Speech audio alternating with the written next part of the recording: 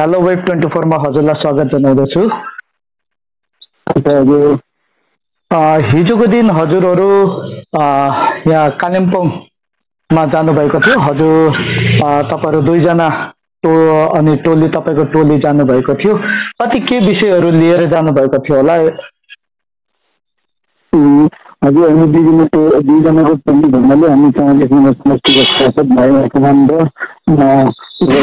है हामी स्पेसली के भन्दाखेरि चाहिँ अब हामी दीर्घ दिनदेखि हामी चौलिस पैँतालिस नम्बर समष्टिको एउटा समस्या छ हामीलाई ब्लक बाइफिकेसन हुनुपर्छ भन्ने कुरो। साथसाथमा हामीले त्यसमा हाम्रो गुरुबथामा सब डिभिजन बाइफिकेसन हुनुपर्छ भन्ने कुरो त अब धेरै दिन अगाडिदेखि अलि आइरहेको कुरा हो र बिचमा अब अलिकति के भएर अलिकति सेली लागेको थियो र अब हामीलाई सबैभन्दा साह्रो कुरा मेरो पाङ्कावासीले गोरुबथान आउनको लागि अस्सी किलोमिटर टाढोबाट गोरुबथान ब्लक अफिस आउनु पर्ने अनि आफ्नो ब्लकमा आउनको लागि पनि अरू डिस्ट्रिक्ट जलपाइगुडी डिस्ट्रिक्ट भएर आउनु पर्नाले गर्दा त्यहाँको मान्छेलाई अब धेरै असुविधा भइरहेको छ। अब एउटा इन्कम सर्टिफिकेट एउटा हुन्छ रेसिडेन्सियल सर्टिफिकेटको लागि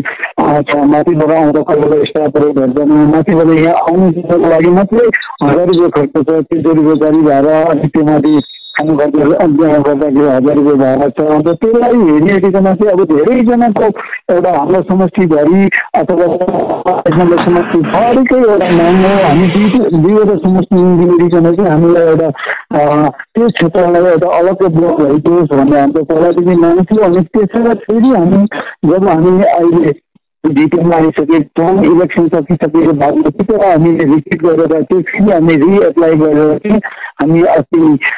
बिडिओ साहबलाई पनि भेटेँ बिडिओ साहबले तपाईँ राम्रै एउटा हामीलाई सजेसनहरू दिनुभयो राम्रै सुझावहरू दिनुभयो अनि उहाँले त्यो लेटरहरू फरवर्डिङ पनि गरिदिनु भएको थियो दिनु म्याडमलाई अनि त्यो त्यो फरवर्डिङ लेटरहरू पनि हामीलाई दिनुभएको थियो चाहिँ चाहिँ फेरि डिएम म्याडमले के भन्छ एपोइन्टमेन्ट गरेर दिनुभएको छ र हामी डिएम म्याडमसँग भेट्नु गएको थियौँ चाहिँ कालिम्पोङको प्रोग्राम चाहिँ त्यो हो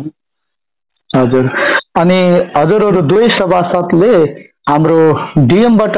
यो तपाईँले चढाउनु भएको ज्ञापनको प्रति उत्तरमा के कस्तो आश्वासनहरू जनताप्रति पाउनु भएको छ? डिएम पनि एक्चुली डिएम पनि हाम्रो त्यो क्षेत्रमा